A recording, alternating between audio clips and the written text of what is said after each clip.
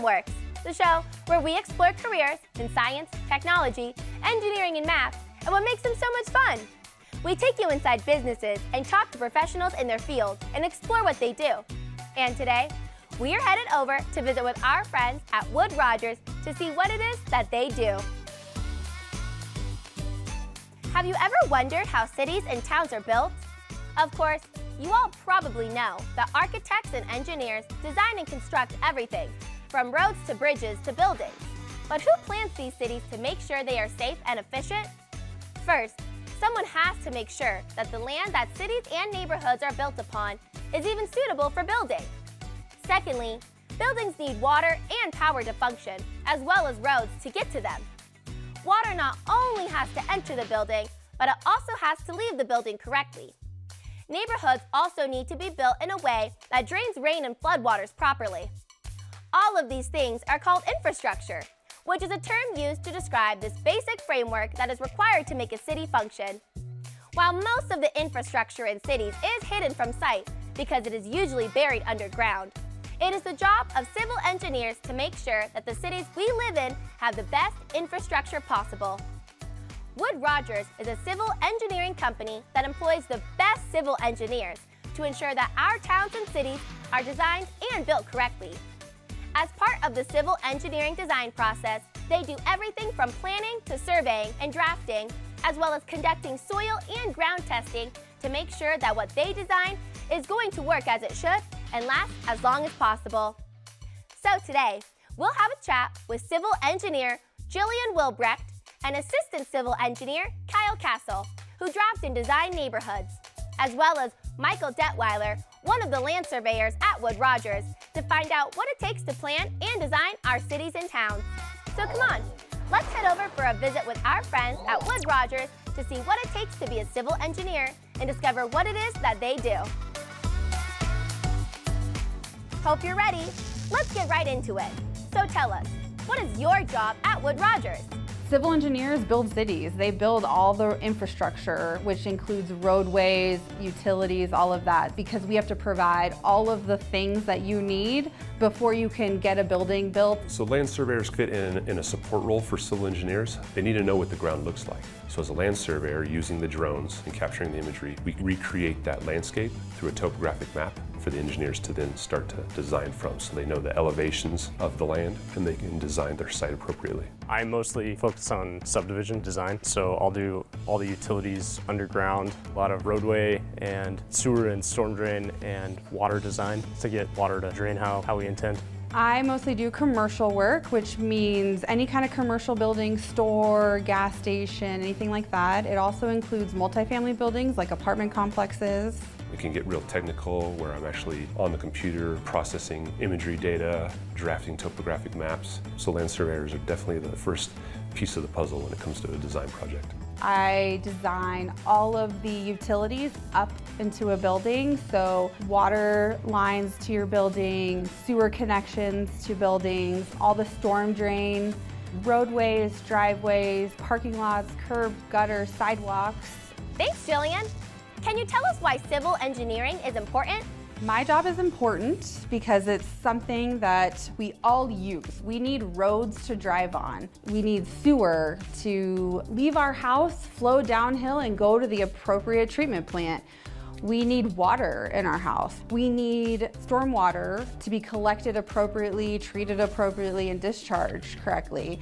And so I think a lot of the things that civil engineers design are just part of the landscape, but they are critical for our everyday lives. Through the topographic mapping, the land surveyor may determine the slopes are too steep and that large buildings can't be placed on that site because you have to move too much dirt and it becomes very costly. There may be drainage issues. It may cause some serious issues if you were to build something there. We're delineating the boundary of the property and engineers need to know where that is so that we're not designing outside onto someone else's land. Topography is definitely super important. When we're designing a subdivision, let's say we've lifted it 10 feet in the air, so it's 10 feet higher than what the existing ground used to be. There's obviously some sloping and stuff that needs to happen to get back to the existing ground. You obviously don't want water flooding your house, so I do a lot of grading to ensure that doesn't happen and direct water in places that we actually want to drain water.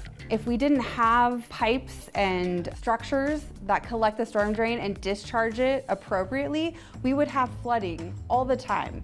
We design everything so that all of our pipes flow downhill. A general rule of thumb when you're trying to drain a lot, for instance, is you want to maintain 1%. So what that means is for every 100 feet long, you want one foot vertical. When we survey the land and create a topographic map of that land, all we're really doing is just showing the engineer what currently exists on site. That's where it becomes critical that the engineers know in a flood event how much water is going to come down the slope and then how does that water get off the site and how does it get into a storm drain system where it's not going to flood homes. That really is important. So what do you love the most about your job? I get to see what new projects are coming in town what type of stores they're building. I get to do something different almost every single day. No two projects are the same. One of the coolest things about my job, something I really look forward to every day, is to physically go out in the field to a site and survey it, flying the drone. And I get to take those images back to the office and create a map out of it, and then it's an eagle eye perspective of the site. It's a great job. You get to use your brain all day, you get to solve problems, you get to be a part of the development process and what gets built in our community. When I work on a project, it's really neat to kind of see that computerized drawing go from something that was on the screen at one point, seeing it actually constructed in real life. It's just really rewarding to be able to look at something and know I did that. I think it is so neat to drive around town and look at all of the different projects I worked on and go into those stores and park in the parking lot we designed and people using them and knowing that they work. I will be driving around outside and I'm like, look at that curve. Why does that curve look like that? Who decided that that curve was going to be that tall? You get to go outside and use high technology instruments. You get to use GPS instruments. You get to use drones. And then you get to take the information that those cool toys collected and then bring them back into the office and make some cool products out of that. It's how that all draws together that really makes it fun for me. Okay, and what about skills? What are some of the most important skills in your job? I think the most important skills for this job are attention to detail, problem solving, and asking questions. That's how we learn, that's how we move forward, and that's how we figure it out is asking questions. People have different brains and they think different and they have different perspectives. So relying on people is a great thing. You know, you're all on the same team, you work for the same company, trying to get the same thing done. So use that to your advantage. In order to bring an entire project together, it's definitely a team effort that involves a lot of coordination with with all kinds of people. We work directly with architects, electrical engineers, structural engineers, and we all work as a team to get a finished product out. It doesn't stop when our design is done. Our design is permitted and then a contractor picks it up and they go build it. And we have to work back and forth to come up with a solution together to get the site built correctly. Any other advice you might have for us? Ask your math and science teachers. If they don't know about civil engineering or they don't know a civil engineer, there is a huge community of teachers and they can reach out to each other and, and find a civil engineer that you can just talk to directly or ask questions. Take advantage of these STEM programs that we have now. That didn't exist when I was a kid. If you know of a group or you can get involved with one of those groups, those are the groups that are going to foster your development in that and your urge to learn and creativity get interested in math and science. You don't have to, you don't have to be good at them.